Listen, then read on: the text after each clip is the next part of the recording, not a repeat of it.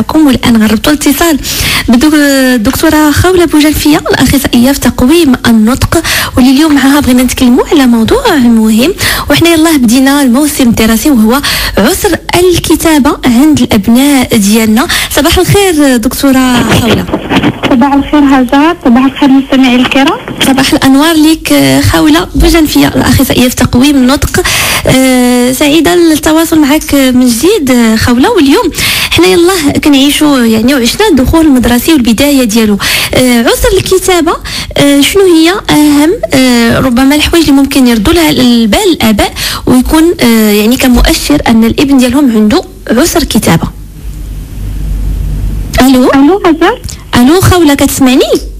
كنسمعك نعم هاجر أه سؤالي كان هو شنو هي أهم الاعراض اللي ممكن تبان على الطفل اللي كيعاني من عسر الكتابة؟ voilà donc الاطفال اللي كيعانيو من عسر الكتابة هما أطفال كيبان عندهم كتابة غير مقروءة في الأول. نعم. يعني الخط ديالو غير مفهوم يعني ملي كتبغي تقراي ملي كيبغي الأب ولا الأباء ولا ولا الساده الأساتذة تيبغيو يقراو النص الكتابي ديال الطفل كتبان لهم كتابة غير مقروءة. نعم. هذا أول مؤشر وكتبان لنا أن الطفل ديما كيمسك تيشد القلم بطريقة بطريقة غير عادية. أها يعني حتى الطريقة ديال الشدة ديال الستيلو كيشدو بطريقة غير عادية. وأيضا كيبان أن الجلوس ديال الطفل ديما تيكون مسكي على الطبلة بحال اللي تيجيب الله أنه باغي يحكم داك القلم باش باش يتحكم أكثر في عملية الكتابة. ومن بين المؤشرات الأخرى اللي عند الأطفال اللي عندهم عسر القراءة كنلقاو عدم انتظام أحجام الحروف والأشكال ديالها صديق مرات يكتب الحرف صغير مرة كبير. في نفس في نفس في نفس الكلمة كنلقاو عدم انتظام الاحجام ديال الحروف. مرة الحرف كبير مرة صغير مرة متوسط وحتى الأشكال ديالها تكون مختلفة.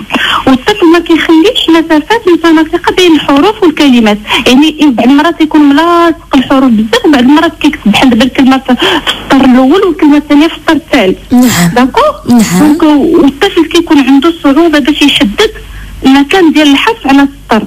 يعني باش ملي كتقولوا بحال دابا حتى إلا جلستي مع وليد الوليد ديالك وبغيت تقولوا أجي نكتبوا نكتبوا أنا وياك voilà راه خصك فوق السطر وخص يكون ما بين السطر الأول والسطر الثاني كتكتب هذا الحرف هذا. كتجي صعوبه باش يحدد المكان ديال الحرف. إذا كتقول لك هذا السطر وكتكتب في السطر الثاني ولا الثالث. d'accord donc وهاد الصعوبة كتجي أيضا.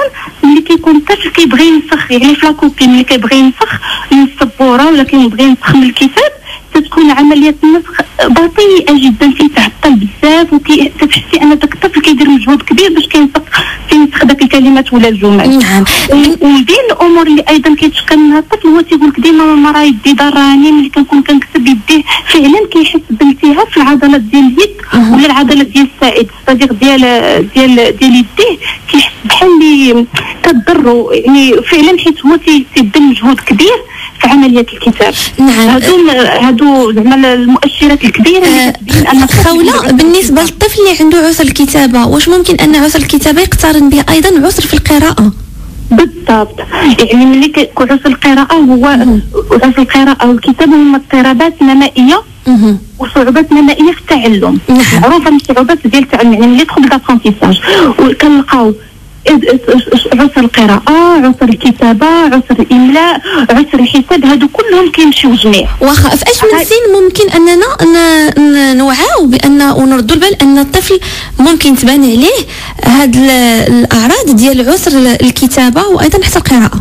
voilà donc عسر الكتابة كيبان ملي كيولي الطفل آه، بحال دابا في في la moyenne section كيكون في من la moyenne section de maternelle كيكون عاد كيتعلموا الحركة الكتابية يعني le geste écrit في la grande section يعني في في القسم أربع سنين خمس سنين voilà في. بلاص ديال خمس سنين. كيكونوا بداو كيكتبوا الحروف بداو يكتبوا بعض الكلمات يعني غير l'imitation غير تيبداو يتعلموا نعم. c'était في التحضيري اللي هو في القسم الأول ابتدائي. الطفل فعلا كيبدأ كي- كيبدأ كيكتب كلمات وجمل كيبدأ يبان لك أن الخط ديالو ما مناسبش للعمر ديالو. بحال اللي تقولي الخط عاد تاع شي طفل اللي عاد تيتعلم كتابة في la grande section ولا fin de moyenne section نعم.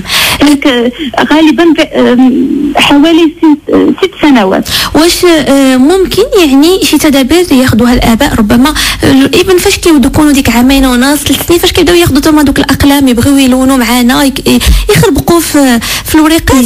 واش هنا كاين آه، شي حوايج ربما اللي ممكن الآباء يديروهم باش يعني نحاولوا أننا نتفاداو هذا المشكل ديال عسر الكتابة عند وليداتنا؟ آه، بالنسبة لعسر الكتابه هاجر هو هو اضطراب يعني الطفل كيكون مهيئ يعني على على مستوى الجهاز العصبي ديالو على مستوى آه هذا مهيئ باش يدير عسر القراءه والكتابه يعني آه ماشي ما نقدروش ماشي on va prévenir ولكن نقدروا نعاونوا هذا الطفل اللي كيبان عنده هذه المؤشرات باش يتخطى هذه الصعوبة ديالو. بحال دابا نقدروا نعاونوه بالنسبة ملي كيبدا يبان لنا أنه عنده صعوبه في الكتابة يعني نعاونوه فعلا باش باش يتحسن طريقه الخط ديالو. آه عن طريق مجموعة ديال ديال التمارين بحال دابا نعلموا الطفل غير عن طريق اللعب فقط. نعلموه يبقى يكتب بالصبع ديالو الحروف في الهواء. نعم. بحال دابا الالف لو ا الصبع ديالو يدير de grands gestes يدير حركات كبيره في الهواء باش كي باش كي باش كيحاول يناسق الحركات ديال اليد ديالو مع الدماغ ديالو باش يتعود على le geste écrit يتعود على الحركة المكتوبة. donc نقدروا également نعاونوا بحال دابا la pâte à modeler والطين. أييه. يعني هذا نعاونوا يرسم في الطين بالصبع ديالو. حيت هذه الحركة عسر هذا الكتابة هو مرتبط بمشكل في مشكل في في الطريقة ديال la coordination ديال الحركات يعني طريقة ديال توظيف تنظيم آه. الدقيقة. تنظيم وتوظيف العضلات الدقيقة اليد. نعم. وهي مهارة في حد ذاتها يعني هذه المهارة نقدروا نخدموها مع الطفل عن طريق اللعب يرسم آه، آه، أيضا يقدر يرسم في, ال sable في, في الرملة. donc هادو كلهم تمارين.